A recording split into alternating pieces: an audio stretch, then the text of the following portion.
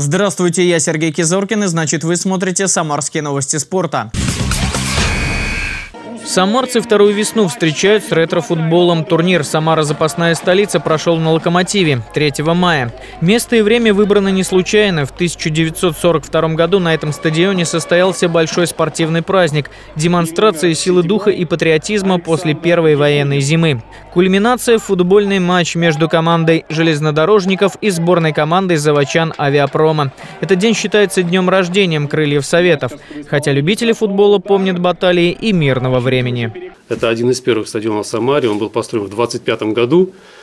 Построен, скажем так, всеми, кто был неравнодушен в то время к спорту, ну и вообще жителями Самары.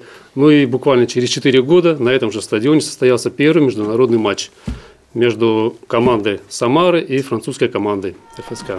В 42-м «Локомотив» победил авиаторов 5-3. В прошлом году железнодорожники тоже праздновали успех со счетом 4-0.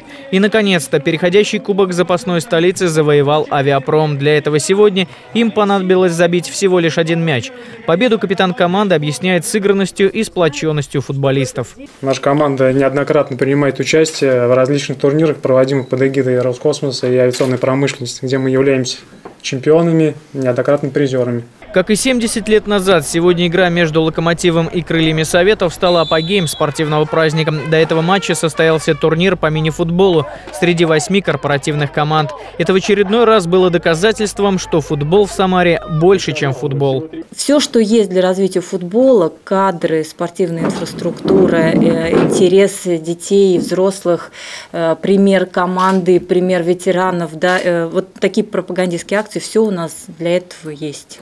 После ретро-матча футболисты разъехались по домам, а в 1942 году многие участники ушли добровольцами на фронт Великой Отечественной войны.